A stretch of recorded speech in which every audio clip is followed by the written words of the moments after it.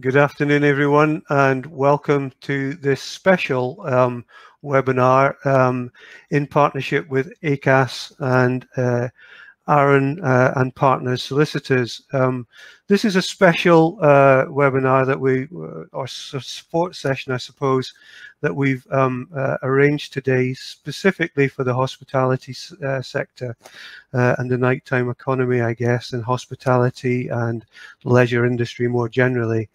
Goodness, um, of all the sectors in Greater Manchester that have suffered through COVID and will continue to suffer, it, it appears um, it is the hospitality sector. And so we were extremely pleased that ACAS approached us initially and said we would really like to run a session uh, to support um, employers in that sector. So I'm delighted to be joined this afternoon by Helen Robinson from ACAS. Helen is a senior trainer and um, uh, uh, advisor at ACAS. Um, if you haven't touched the ACAS resources, goodness, go find them after this event because they are um, tremendous and uh, in breadth and depth. Um, and I know that uh, ACAS are there to help.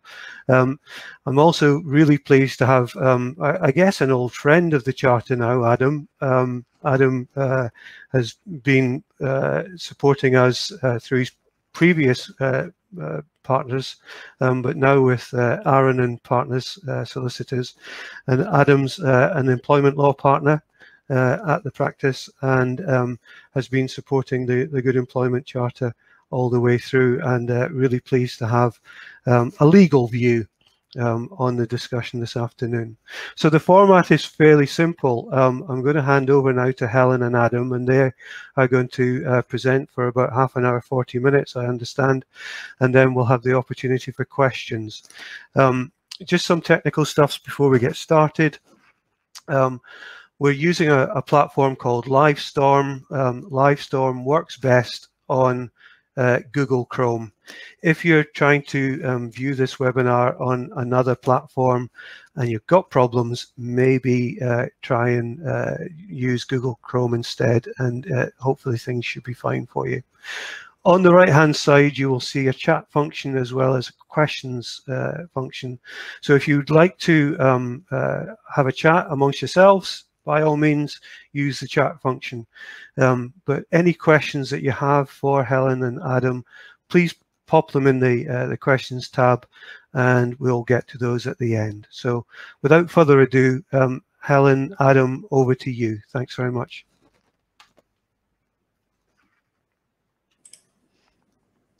Thanks, Ian. Um, just just following on a little bit from from what Ian said, and before we get on with the content of the session, I just really wanted to introduce ACAS as an organisation, the organisation that I work for, um, just in case people aren't familiar with us if you've never come across us before.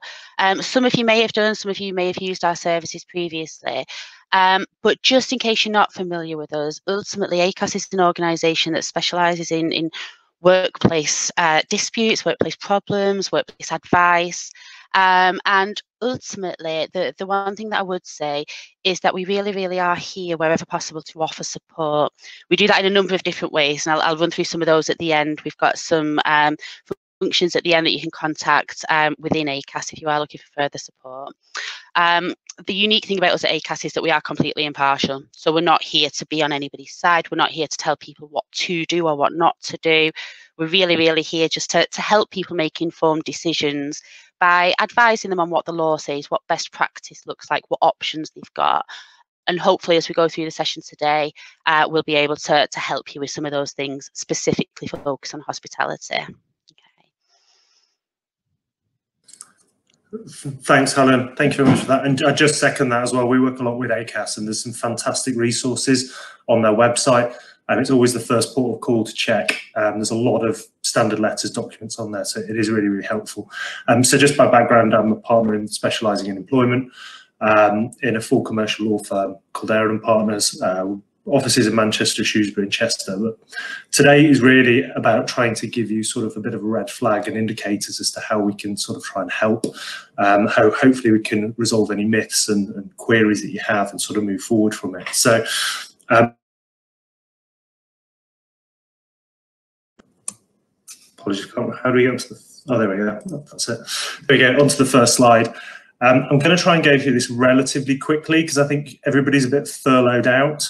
Um, but I think it might, what we think it might be do is useful is to give you a bit of a whistle stop tour where we are at because we haven't gone, the, the, the indication was we were expecting furlough to be removed, but we haven't gone back to what it was previously. We've gone back to what it was back in August. So I want to just lay out very, very quickly where we're at. Um, so the furlough scheme or the coronavirus job retention scheme has been extended to the 31st of March 2021. It's halted the job support scheme that was planning to come into place. So first and foremost, who is eligible? Um, you're entitled for any claims after the 1st of November 2020. Um, all employers can claim for any employee that were on PAYE payroll as of the 1 minute to 12 on the 30th of October 2020. Okay, there is no maximum number of employees that an employer can claim for. It applies to all PAYE employees, so that includes part-time, agency workers, and zero hours workers. Employers do not need to, employees do not have to have been furloughed before. Previously, there was a requirement that you had to be furloughed for a three-week period. This is no longer the case. Okay. You're entitled to also furlough company directors, okay? They can perform some of their statutory duties so long that it's no more than necessary. So an example of that is issuing statutory accounts, okay? And that won't result in them deemed to be working for the purposes of furlough. But I'd advise you to look into that before you do so. There's a few technical points on it, just double check it. Flexible furlough will still be in place. It is continuing. You must keep records of the hours that the employees on flexible furlough were working, and the advice is to keep that for up to five years. Okay. Um, if you have an employee that's working 40% of the time and is furloughed for 60% of the time, um, the cap on the amount that can be claimed on the furlough is £2,500. So it, you would take up 40% um, of that and can claim 60% of that furlough point. That's how it really works in simple terms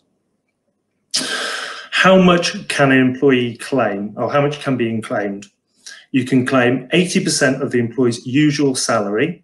So this is again going back to August 2020 for hours not worked up to a maximum of £2,500 per month. Okay. Salary can include overtime and compulsory commission. It doesn't include conditional payments or performance payments. So, for example, a bonus based on manufacturing a certain number of things or a, bonus, uh, a bonus based on working a certain number of hours or attendance rate. Okay. You still need to pay the employee's NI and employee's pension contributions. So that is a cost that you must need to factor into the decision making on whether a furlough is, is appropriate.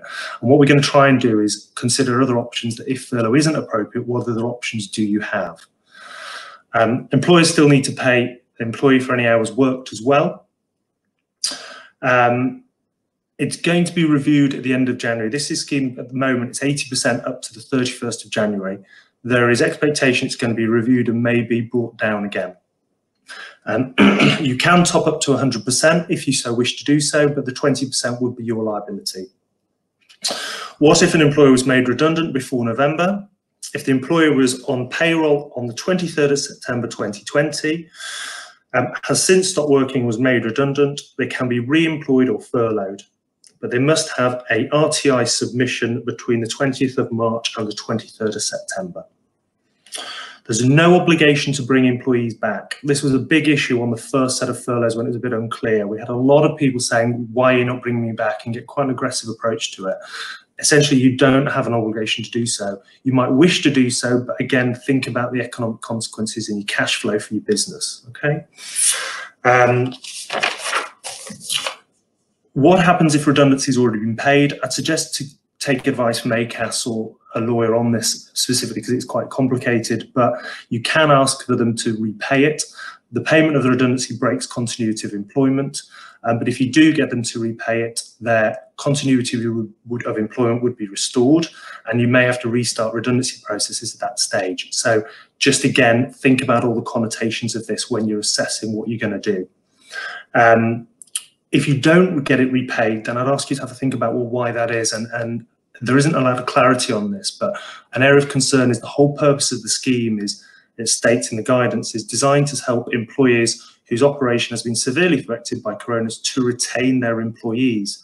I'd have a concern about it potentially being abuse of the process if you didn't ask it to be repaid, because the indication is that you don't intend to keep them. So again, I'd, I'd just be careful around that. Um, need to have attained written agreement. So you need a written agreement in place, and that's really, really important. It's got to be consistent with the law. Keep the records for up to five years, and you need to keep the records of what's been worked and what's been claimed. Um, there's no written response required, but I would advise you to get something in writing to confirm that they've agreed to those terms. Um, it's good practice. And if no agreement was in place at the beginning of November, okay, because it had expired or you'd removed it in anticipation of the changes, then you had a, an opportunity to go back up to the 13th of November without an agreement in place to claim furlough. If there wasn't an agreement in place as of the 13th of November, then you've lost the, potentially lost the opportunity to claim furlough because it, previously there was a lot of a situation where people were running to get agreements in place and there wasn't any clarity on it. But the new guidance stipulates that it must be in place up to the 13th of November to claim back to the 1st of November. Hopefully that's clear. Um, if you're on full furlough, you can't undertake work. Um, so that's important to note. So they can't obviously do their normal work, so obtain sales, do pipeline and things like that. Um, what is the minimum that can claimed? There is no minimum period. Um, However, the claim period must start and end in the same calendar month and it must cover at least seven days. Um, the process for making the claim is the same, but now it's for a shorter claim window. So November claims will have to be made before the 14th of December, and each subsequent month should be made on or around the 14th of each month. Um, what happens with annual leave? This was unclear when the first furlough came in annual leave can be taken during furlough. There was a worry that it would um, breach the um, the furlough entitlement and, and, create a restart, but that's the case. It's holidays entitlement, but you have to pay it at 100%. Things to consider, um, statutory pay, it's holiday pay, the 20 days plus eight bank holidays needs to be at 100%, but you could look at maybe changing what you pay under the terms of the contractual provisions, but that would have to be something that we agreed, which then touches on what me and Helen are going to talk about shortly. Um, and then to jump onto the job retention bonus scheme, this was planned to be paid, I think it was around a thousand pounds that was due to be paid for people retaining staff up to the end of January. That has been withdrawn and won't be paid in February, okay, in 2021. Um, the government says it will be deployed at an appropriate time. So I'm at a loss as to what that actually entails. Um, but uh, let's watch that space.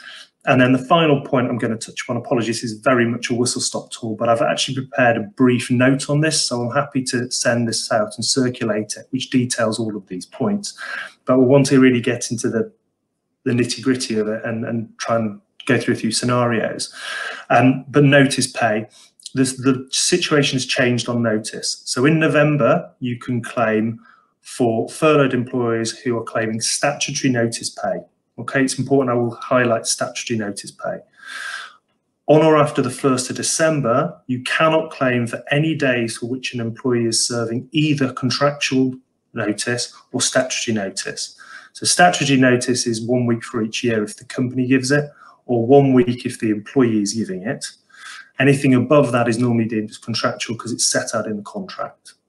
Um, the situation in November is quite complicated um, if it's contractual notice. So that's all I'll say, only for statutory notice um, is claimed. That's, that's, Helen, do you want to, to lead on to the next slide? Yeah, thanks. Oh, got something there. um, do you want me to change the slide? Sorry, thank you. That that's much easier. Thanks, Adam. Excuse me. Um, so yeah, ultimately, what um, we've put together here, um, I thought it'd be interesting for us to have a look at the uh, kind of queries we're getting at ACAS. Now, as I said earlier, we we do provide a lot of advice, and we provide advice to, to anybody, to employers, employees, trade unions. But I think, um, and Adam and Adam and I were speaking about this the other week. I think it's really, really important for us to acknowledge that furlough and, and the situation that, that everybody's in at the moment, particularly in hospitality, is not straightforward for employers. Um, there's, a, there's a lot of focus on the difficulty for employees and, and we, we completely empathize with that but it's also really important to, to acknowledge that, that the furlough scheme people have been asked to get to grips with a, a scheme that didn't exist 12 months ago on top of everything else that's going on um, and ultimately it can also lead to, to employers feeling unable to plan. I mean, from a personal perspective, my brother and sister-in-law both work for a restaurant in uh, Manchester city centre, and that restaurant has has already decided, as I'm sure others within within the industry are, that they're not even going to contemplate opening until the new year, regardless of what happens in a couple of weeks with the tier system. Because as an organisation, from an employer's perspective, they just feel unable to do so, unable to plan with with, with Christmas coming up. So some I understand some employers are taking that those steps at the moment because they feel that they have to from employers and, and, particularly focusing on hospitality, um, the queries that we've got up on the, the slides at the moment, so whether we have to furlough staff, um, how can we select who comes back to work, or what if we want somebody to come back to work and they, they don't want to? These are kind of questions that we're getting quite often, um, either directly through through me, through customers that I've spoken to previously, or people that, that I have ongoing relationships with, or indeed to, through our helpline, which is, an, is another advice service that, that we offer. Um, I mean, the helpline again, they they've had to get to grips with all this this, this new information, this new guidance that's come out this year. Um, and they are extremely busy. I mean, ultimately, I saw some stats the other day that said our um, helplines calls on redundancy had increased 160% in August this year to August last year. So they really are getting these these kind of questions coming in um, on a, an hourly, a daily basis. Okay, but I just thought if we were to explore these three different scenarios in a little bit more detail. Um, the first question that we've got up there, do I have to furlough my staff? The short answer to that is no, you don't. But there's a big caveat coming with this because ultimately, if an employer chooses not to furlough their staff, they will have to do something. And on the next slide, Adam and I are going to explore some, some possible alternatives to furlough because I think, again, it's important for us to acknowledge that, that furlough isn't um, a cost free thing for, for an organisation, for an employer. People are still accruing holidays, as Adam's just said. At some point, they're going to have to be able to take or be paid for those holidays. Even if they take them during furlough, uh, the employer is going to have to find that extra 20% from somewhere, that additional payment to, to make to people. And that that's not as easy as it might sound, particularly if businesses are closed or unable to be trading. So we do completely acknowledge that, that this isn't a cost-free um, scheme for employers. Sorry, Adam. I thought you were you were. Oh yeah, I was. I was, I was going to say I did. I missed out the point deliberately. So I was trying to keep it to a minimum. But you can actually ask people to force people to take holiday. You've got to check on the terms of the contract. Um, but you can offer double the notice. So if it's a week, you can give two weeks notice to force holiday. A lot of people have got a situation, particularly in hospitality, where they have a lot of holiday to be taken and they were coming under pressure to be taking it in times when they were coming back and trying to get ready set. And something I think now we've got an opportunity, something to prepare for and, and stop it all coming through at once. So apologies for interrupting no, that's right. and that's a really good point actually, because um, ultimately, I suppose the, the options an employer's got, if we're looking at people who are accruing holiday while furloughed, the options an employer's going to have is to either wait and then people can take them when they actually return to work after a period of furlough. But is that what's beneficial for the employer? Because it might be busy, we might be needing those people in at that time. Or, as Adam's just said, we could actually um, give notice and insist that holidays are taken during a a period of furlough. And in addition to that, I suppose the benefit for the employer is you're, you're claiming the 80%, you're paying the 20%. Whereas if somebody's taking it after a period of furlough, it'll be up to you to pay that full holiday pay as per usual. Yeah, so it might be a good thing around this time of year to top up people's salaries. Mm, absolutely. But. Yeah. Um, the, the, like I say, we, we will be looking at other alternatives on the next slide. We've got a number of things that, that we're going to be talking through with you, so alternatives to furlough. I think the overarching thing that Adam and I are going to keep coming back to, though, is the importance, the absolute importance of communication with with your with your staff, with your employees, whether people are furloughed, whether they're not, whether they're on flexi furlough, so they're working some but not other times. Um, it's so so important that you're keeping people up to date with what's happening, why it's happening, and I know again that might set that that's easier said than done if um, if it feels difficult to plan for the future because we don't know things might be changing on a fortnightly basis um, in accordance with government guidelines. But again, it's all about communication, explaining why something is happening as well as what is happening. Okay. The second question we've got on here um, so who do I select to come back to work and who remains on furlough? Um, I suppose this is coming out um, from hospitality because some areas of hospitality, I suppose, maybe operating on uh, reduced opening times or reduced numbers of staff needed if, if people are, doing, I don't know, takeaway a takeaway service, whereas they would usually be doing people come along to us.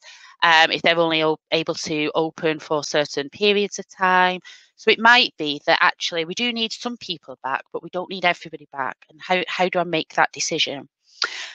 And the answer to that really is it's up to you as the employer. It's completely up to you. Now, going back to what I was just saying when I was talking about communication, um, there's absolutely nothing stopping you saying who wants to come back asking for volunteers in the first instance. So long as it fits in with what you need people to do, so long as it fits in with the hours that you need somebody to be there, and so long as the, the skills that the people who put the hands in the air, so long as they've got the skills that you need in order to be able to effectively operate as far as you can at the moment, there's absolutely nothing to stop you doing that. I suppose if you if you can't do that for whatever reason, or if you get too many or not enough volunteers, the decision is then going to be yours. And I think the things to keep at the back of your mind there are hopefully uh, at the other side at the other end of this hopefully you're wanting to retain the staff retain the the, the employees or the, the workers that you've currently got. And ultimately by by keeping them engaged by keeping them on side with you um, you're much, much more likely to do that. So if you're in a situation where you've got too many or, or too few volunteers for coming back to, to work from furlough, um, you've always got the option of taking it in turns or, or using the flexi furlough scheme so some people could work in, in different ways. Okay. Um, the things to be aware of when we're looking at getting people back to work from furlough are just to have at the back of our mind that we're not discriminating against anybody in any way. Um, I'm not for one second suggesting that anybody that we're speaking to today would, would do so or, or, or, would knowingly do so. But I have spoken to employers, admittedly, this, this was um, early on in the year, but I did speak to employers who were making decisions based on age, for example. I'm going to ask all my younger workers to come back and my older workers to stay at home. Now, that was coming from a good place. That was coming from concern for, for those particular members of staff. But could there potentially be a, a, risk of an age discrimination complaint there? Possibly. So I think it's worth remembering that we might know what, what we think is good for the people that we employ, but just talk to them, see what they feel about it, see how they're feeling about a situation. Okay. Um, and then our final point on this slide. So what if I want somebody to come back to work and they refuse? Um, and again, this is something that, that's that's asked quite frequently. Um, I suppose the first thing that we'd be advising from an ACAS perspective is find out why. What are the concerns? Um, is it because they are concerned that there's not enough being done at work to, to provide them with a, a COVID secure workplace or as far as possible? Is it because they're concerned about how they're going to get into work? Do they come in on public transport, for example? Could we put um, some sort of adjustment in place to say, okay, well, we'll amend your start and finish time so you're not traveling during rush hour, um, maybe uh, less likely to be as busy, maybe less likely to come into to contact with people. I think ultimately the, the decision uh, lies with you. If you feel that you need somebody back into work and, and you are removing their, their furlough, then that's up to you. But if they are concerned, speak to them about it. And the reason I think this is so important is because, again, I have come across circumstances earlier on in the year where employers have basically said, well, it's up to me. I'm telling you, you need to come back to work. You're not on furlough anymore. Come back. And I think that the the risk of damaging the employment relationship, even if the person does come back, even if they think, okay, well, yeah, I'd, better do, the the damage that's been done to the working relationship there is is often irreparable. So it may well be that that person returns for now, but is looking for something else to to go and work somewhere else. Because at the end of the day, um, all all workers, all employees have, have gone through very similar sorts of things. Everybody's been concerned. Changes have happened for absolutely everybody, and everybody will have different concerns for different reasons. So it's all about speaking to, to people on an individual basis and not making any sort of assumptions as to whether somebody does or doesn't want to come back into the workplace.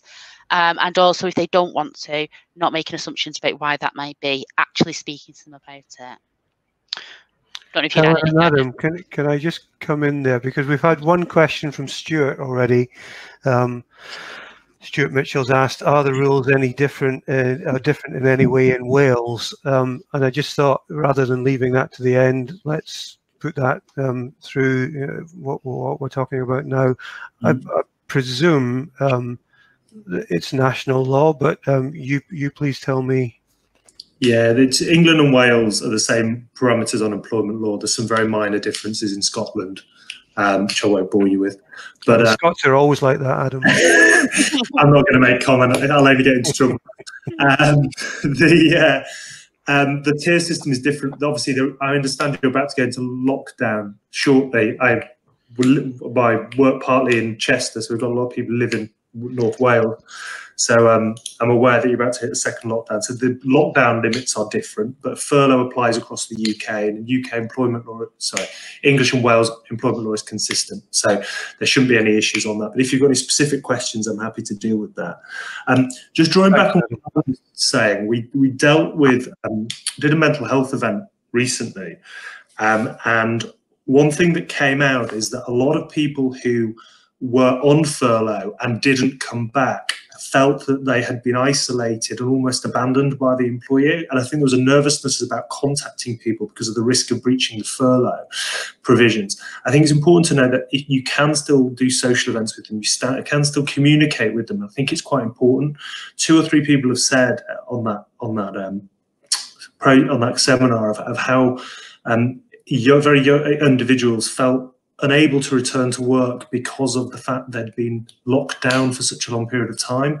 And so I just possibly keep that in the forefront of your mind as to why sometimes people are acting the way they are. And it draws on what Helen was just saying. Um, should we move on to the next slide, Helen? I think.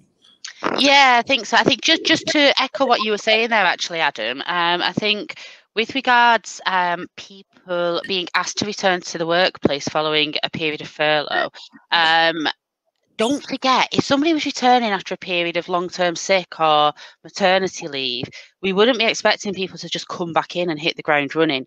Um, I appreciate that that we might feel like we need that in these circumstances, particularly if everybody's been furloughed and now we're just allowed to open again tomorrow, for example. But just really important to, to, to understand that people might be apprehensive, particularly if they've been off since, I don't know, March and it's a lengthy period of time. So, how are we going to address that? How are we going to manage it? And it's all going to be about communication. This is the stuff we've put in place um, to make things safe for you. This is what you can do if you've got any concerns. This is who you can speak to. Being really, really clear with people about what to expect when they do return. Yeah, and I think unfortunately hospitality's been left to react very, very quickly in a short period of time. So I think it's constantly having that dialogue there because I think you, as a company perspective, you've been put in a really, really difficult position. Um, and, and so obviously that communication prior to it will hopefully help smooth it and, and prevent further things getting put on your plate because um, you don't want to be dealing with employee relation issues when you've got all this other everything else to be dealing with. Um, so what we said we'd try and do is deal with other ways and alternatives to furlough. So um, what happens if you, for example, need to change people's hours? What happens if you need to reduce people's pay down?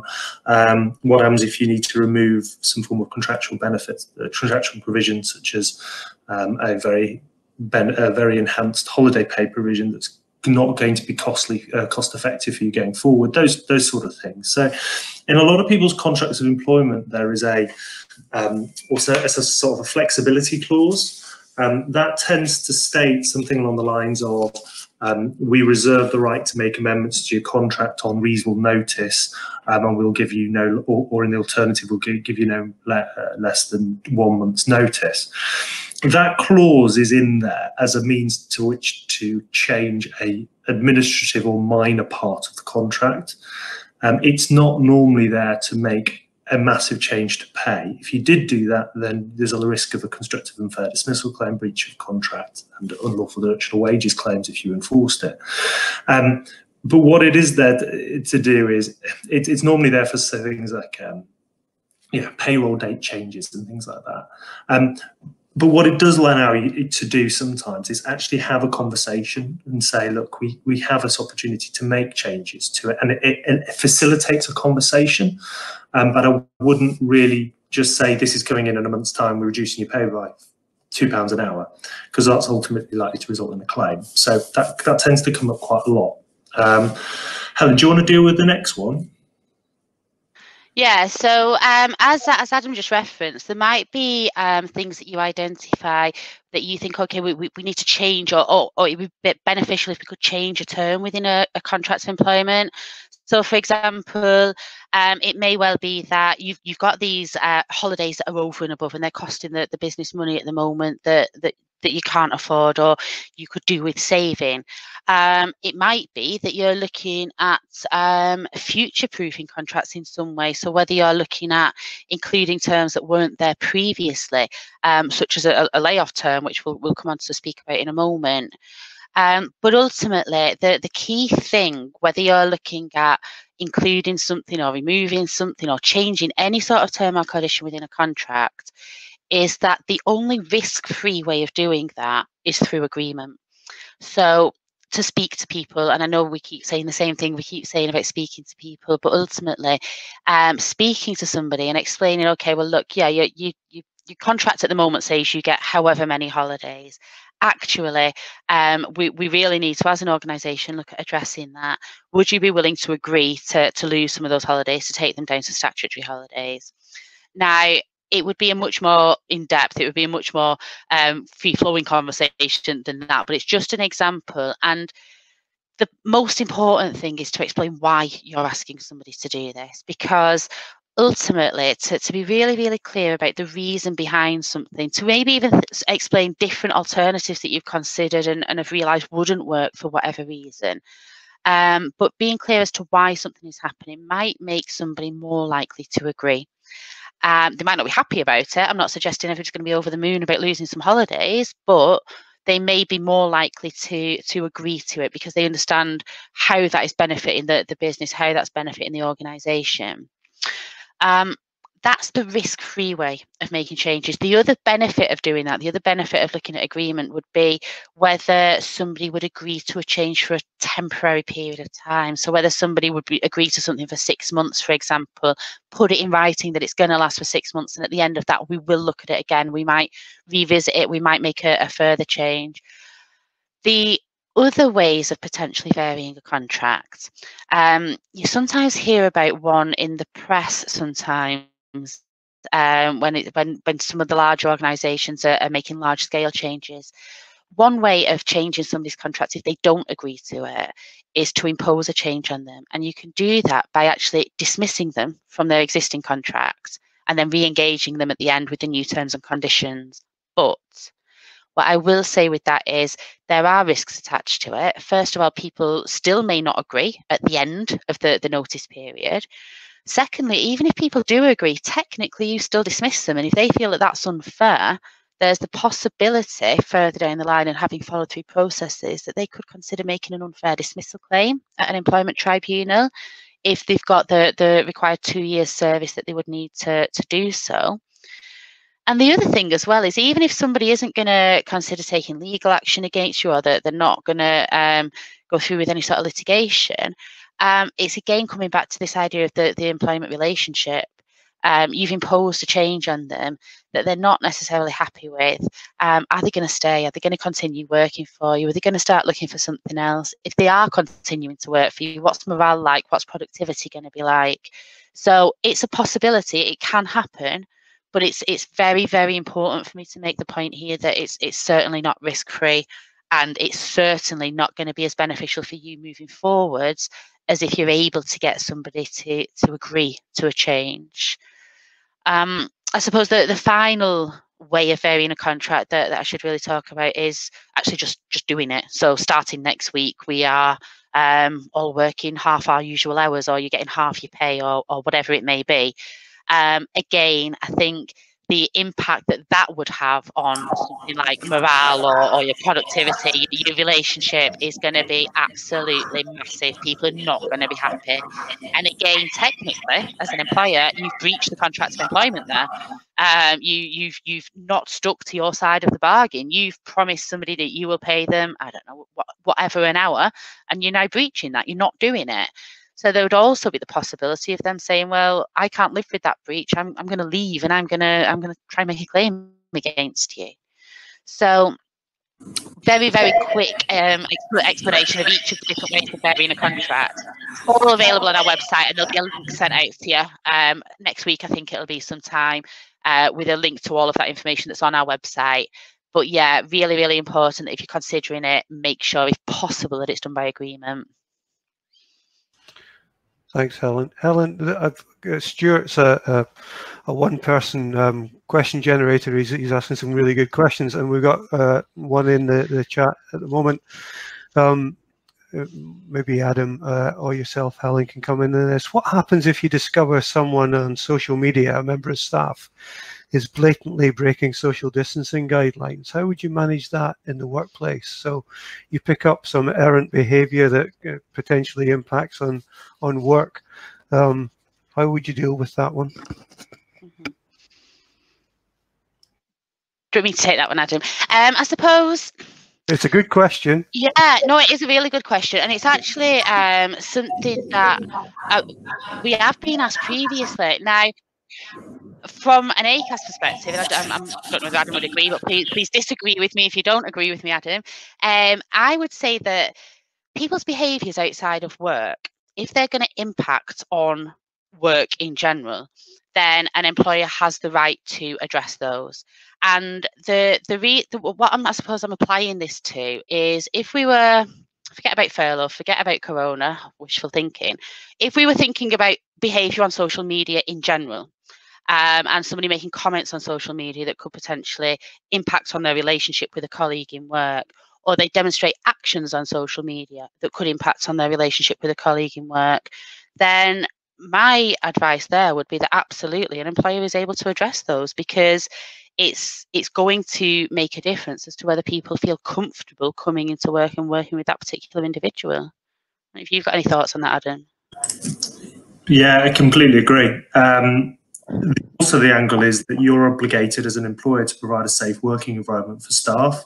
So, by the fact that you believe they haven't been complying with social distancing, um, you don't know whether those individuals have been exposed to COVID, I suppose, which is the issue, but you also don't know that fact as well. So there is an issue whereby if you're aware of it and don't take action, are you putting your other members of staff at risk and or your customers, etc., coming onto site? So I think it certainly needs to be addressed. Um, I'm trying to work out in my head the severity of that action and how severe it sits on the scale. Um, I think it depends upon the actions because things that happen in your private life can impact on your work life if you were to make something like a political statement on social media that had a detrimental impact. That's in the ether, it's in the public domain, so you're entitled to, to discipline for doing so because it impacts on the business. So I think you certainly can do. Um, I'm still mulling over in my head as to, to where the severity sits in the circumstance. I'd probably say look and have a bit more detail, but yes, most certainly. And I think the risk of, for you guys, if you're not seen to take action, is um, this was a claim that was never really looked at, which is essentially failing to provide a safe working environment and um, exposing them to immediate and imminent danger.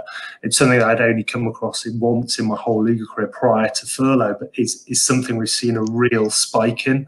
I think I've seen three or four claims of that nature come across my desk. So um, it, you've just got to be wary of people looking at that uh, and that coming back at you. So yes, please do. Thanks both. Um, Stuart, I hope that answered uh, the question, but um, do follow up with either Helen or Adam um, if you want more details. Sorry, Helen, I interrupted you. No, no, that, no, no, that's perfectly fine. Um, so yeah, so we've touched on varying of contracts, and as I said, we, we've got links to all of this on our website being sent out. Um, zero hours contract is something that we just wanted to touch on as well. Um, and the reason for that is because I think zero hours contracts um, can be quite quite quite common within hospitality.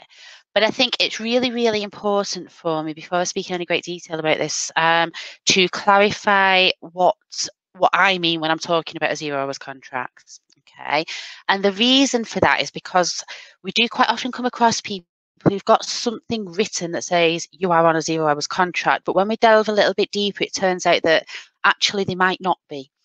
So a zero hours contract, um, in, in its truest sense, I suppose, would be where there is absolutely no obligation on, on, on either party. So there is no obligation on an employer to offer work, and there is no obligation on, on the person to accept work if it is offered. Okay. The potential difficulty is that what starts off as a true zero hour contract can become something else. It can it can evolve into something else. So somebody may have started working somewhere on a zero hours contract. And if it's a true zero hours contract, an employer may well be able to say, well, you're not going on to furlough, but actually we're not offering you any work at the moment because we don't have to. There's, there's no obligation on us to do that. But if somebody has started off on a zero hour contract and has then um, worked solidly for however many months or years and they've done the same or very similar hours and shifts each week and there's an expectation that they are their shifts their hours. Um, then there is a possibility that those shifts those hours have become their contracts. It's an expectation. Um, and in those circumstances it would be more difficult for an organization for an employer to say actually by the way i know you've done 20 hours a week on the same days for the past three years, but actually, no, now you're on a zero hours contract, we're going to withdraw that offer of work. Um, it, it, it is quite difficult. And to get, I suppose, an opinion on an individual situation for you to say, okay, well, this is what, what's happening in our employment. Has it become um, a contract of employment? It'd really be legal advice that we'd be saying at ACAS that you need. But I think it's really important just to be aware that the the writing zero hours contract does not necessarily make it so. If you've got thoughts on that, Adam. No, I, completely agree. But I, I suppose there is a possibility that if you're really struggling with with your business at present and um, cash flow forecasting and risk of um, being able to cover people's salaries, I suppose it is a possibility you could temporarily move people onto zero hours contracts um, to try and give yourself a bit of respite. I think that that that's the, the point of that is that you may want to keep some staff on, um, but you may want to reduce people down to guaranteeing zero hours because of the fact that you want to try and keep them on your books, you want to bring them on board, you want to help them out, but you, you don't want to be held liable for say 20 to 40 hours a week when you, you can't guarantee those hours at present. So again, be really, really, really careful with it.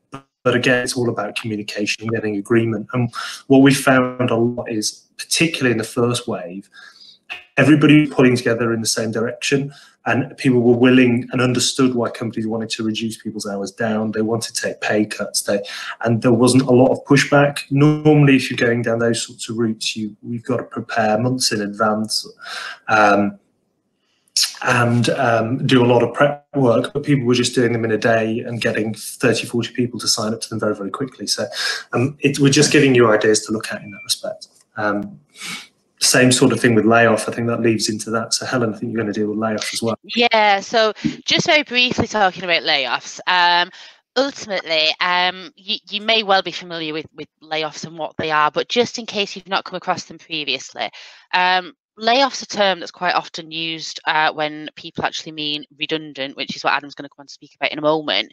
Um, but for, from an employment law perspective, a layoff's a very particular thing. And ultimately, it is when there's a, a downturn in work, um, usually temporary. At the moment, it's temporary, but we don't know how long it's temporary for. Um, we can ask somebody not to come into work and not to pay them. Now, they would be entitled to a, a, statutory payment, a statutory guarantee payment, which I think off the top of my head is about £30 a day. But that's only for the first five possible days of a layoff. Okay. So just to put that into perspective, to give an example, if I was to be laid off today, I could be laid off for an indefinite period of time. I would get five lots of £30 paid to me, and then that would cease and, until maybe three months down the line. Okay, so it can be a very, very useful tool for employers um, and a very, very useful thing to have included in your employment contracts. Now, if it is in your employment contract, you can use that, you can lay people off. Okay. If it isn't in your contract, then you can still lay people off. But again, just reiterating that what, what we've been saying throughout, it's going to come down to agreement. So it's going to come down to communication.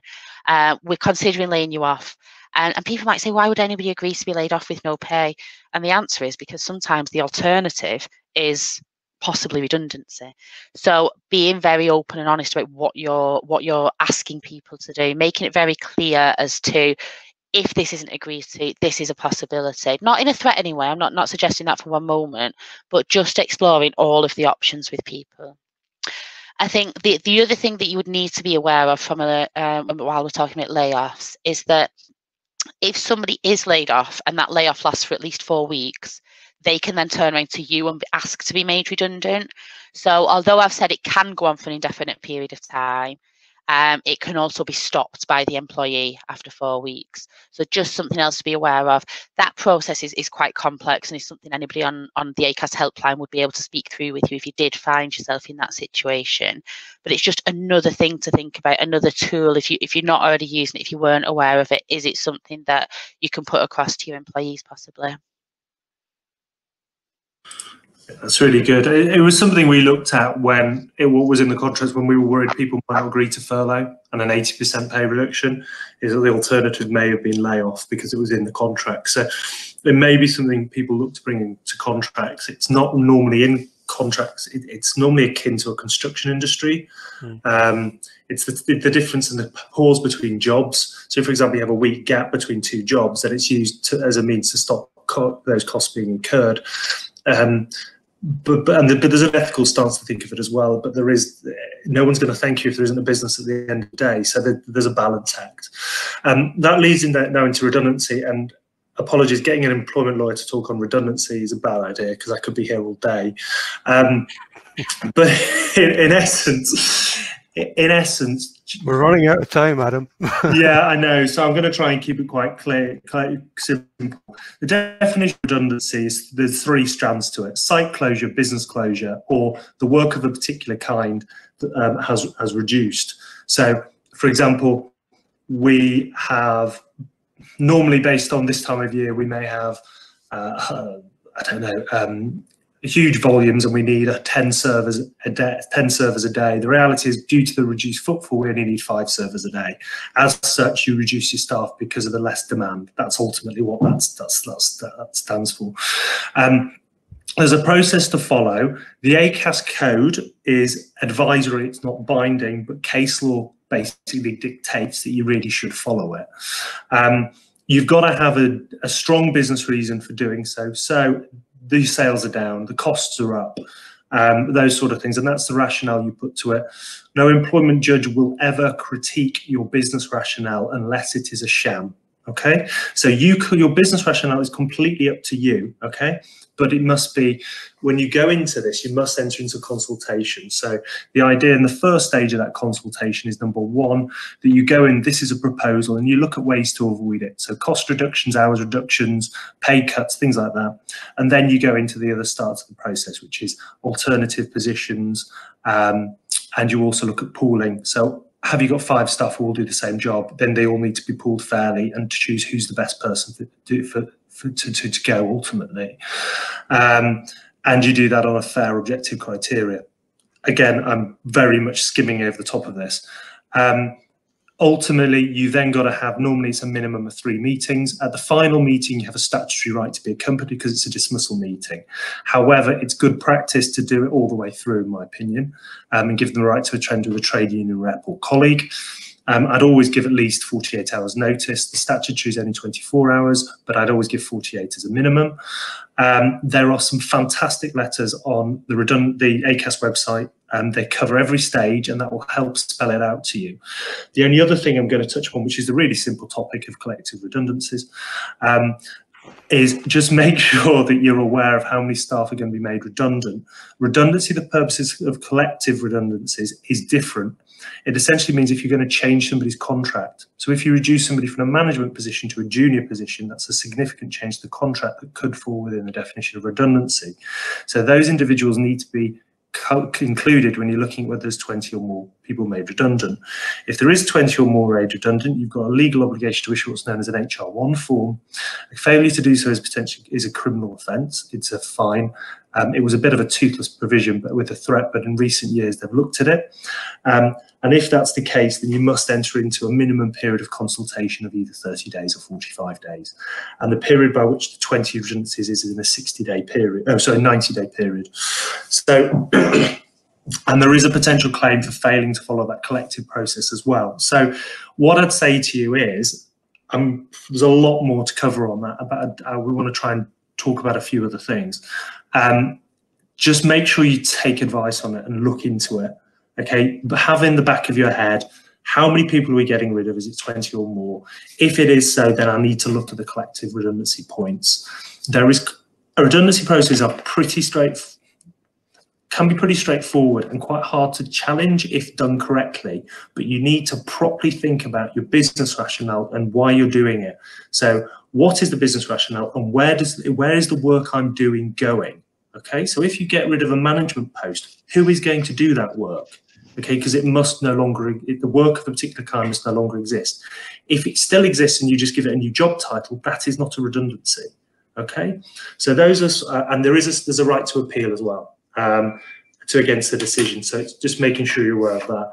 Uh, it was a bit of a jumbled answer, but hopefully I've given you the red flags. Um, I'm just conscious I'll talk for two hours on it. the other thing as well, Adam, actually, is I've arranged for um, a link to our redundancy pages to be sent out um, with, with, with, the blog that goes out. I think it's next week. So um, there's a lot of information on our website. Um, it will take you through step by step. I suppose something else that I'd add really to it is um, Adam's talking about collective redundancies and numbers, and quite a lot of the time, people look for information online and they come across all this information about collective redundancies, and then they say, "But I'm only looking at making one or two or three. The ideas, that the principles are still the same. It's just the periods of time and, and the numbers yeah. of people that you need to speak to. So if you do come across something that says if it's 20 or more, just apply the same principles for fewer than 20 as well the one thing I will I haven't touched upon is length of service. So obviously you have a in order to claim unfair dismissal, you have to be employed for two years. Okay, so and, and also you don't qualify for redundancy pay. There's a great calculator on the government website if you need to work out redundancy payments. Um, then um, you don't qualify for redundancy pay or unfair dismissal. Okay. However, what you may want to be careful with is if, for example, you have a pool of 10 waiting waiters or waitresses, um, and you need to get rid of five, and three of those are short service, then you've just got to be careful to check you've got a bit of a fair mechanism in there. There can be consequences of just picking people out um, on grounds of age or all sorts of other things. So you may want to apply a selection criteria to everybody to make sure it can't be then critiqued, but it is a bit fact sensitive. So, do you have anything to add? Any questions?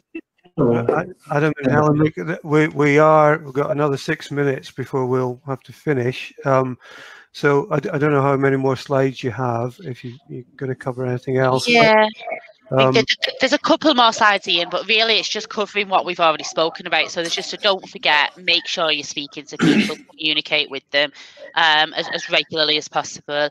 And then the final slide we've got is really just to do with um, different different ways you can get help. So it's got mine and Adam's email addresses right. on there and it's got the ACAS helpline number. ACAS helpline is is fantastic, and I'm not just saying that because I work for ACAS. Um, they're open Monday to Friday, eight till six. And if you've got any sort of query, as I said earlier, we, we, we are impartial, so they won't say to you, do this, dismiss that person, select that person for redundancy. But what they will do is they will speak through all of your options with you and help you make that informed decision. That's wonderful. Um, just to let everyone know that we will um, provide some write-up of this event um, that will link to many of the resources that um, Adam and, and, Helen have spoken about. Um, also to say that uh, ACAS have provided us with a wonderful way of navigating their resources um, that link to the seven characteristics of good employment that we set out in the Charter. Um, I do see we've got one more question from Stuart. Stuart, you've kept this question thing going. Thank you so much. Um, uh, what rights do staff have if they are asked to work during furlough? Who wants to take that one quickly? But yeah, sorry, I'm a bit confused as to what angle it's coming from. So obviously, you're entitled to ask people to return to work and cease the furlough provision. That's that's completely up to your discretion. But where the way the question is asked, I'm wondering whether people are challenging whether they wish, whether they they they don't want to be furloughed. So if they don't want to be furloughed, they have to agree to it. So if they don't agree to the furlough, furlough, then for, to be furloughed, then we'd have to look at one of the alternatives that Helen and I have just sort of covered. Um, obviously, if they refuse refusing to turn refer from furlough, then obviously it depends on the circumstances as why they're doing that, whether it's on health and safety grounds. Have we got more detail? Uh, Stuart, Stuart's come back and said, um, i.e., on furlough and still working, i.e., fraud, HMRC. So, so still being asked to work for their own employer, not working elsewhere, still being asked to work for their yeah. own employer. Um, it's a bit outside my remit, that Adam. I'm afraid. I don't know if you. Potentially, um, there is an anonymous reporting scheme. So HMRC has set up an anonymous scheme by which you can report your employer if they're committing fraud. Um, if they, again, it depends on their length of service and whether they've got employment rights. If you're not paid the furlough scheme, you've got a claim for lawful deduction of wages. So you're entitled to that 80%. It's not to be used for any other things.